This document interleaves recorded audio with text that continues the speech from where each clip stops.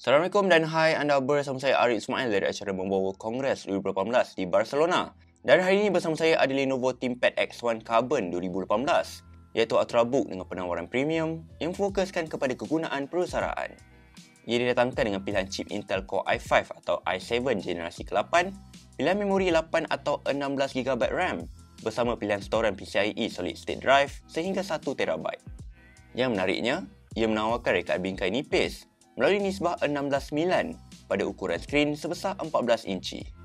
Rekaannya kelihatan sangat premium, di samping mudah dipegang dan dibawa dengan berat peranti sekitar 1.13 kg. Sebagai peranti yang fokuskan kepada kegunaan perusahaan, ia juga hadir dengan webcam 720p yang boleh ditutup bagi meningkatkan privasi dan security ketika menggunakan peranti ini.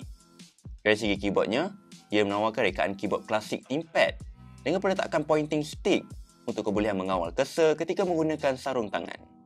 Dari segi sistem, ia dijana dengan Windows 10 Pro bersama sokongan Windows Hello untuk menyakuci peranti melalui pengimbas siap jari.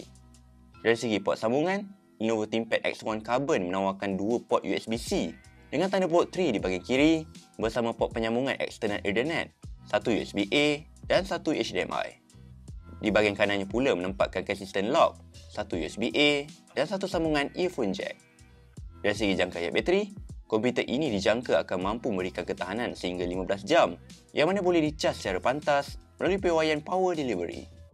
Bagi pengguna yang ingin mendapatkan peranti ini, ia ditawarkan pada harga bermula 1789 US dollar untuk konfigurasi permulaan Intel Core i5 bersama storan PCIe SSD 512GB.